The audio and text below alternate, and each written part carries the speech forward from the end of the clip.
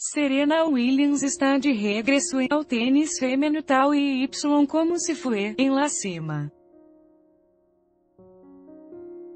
Há dez meses de haber dado à luz, la estadunidense logrou este rueve su boleto à la final de Wimbledon ao derrotar a la alemana Julia Gorges Y ahora buscará el título contra la também germana Angelique Kerber.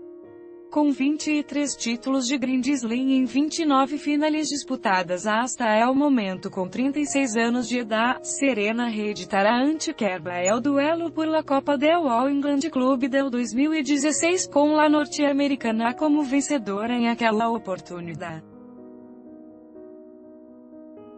Este dia, La menor de las hermanas Williams se impôs em sete corridos por 6 a 2 y 6 a 4 a Gorges em apenas uma hora y 10 minutos, de ganar el torneo el sábado empataria el recorde absoluto de coronas de Grand Slam em poder de la australiana Margaret Court com 24.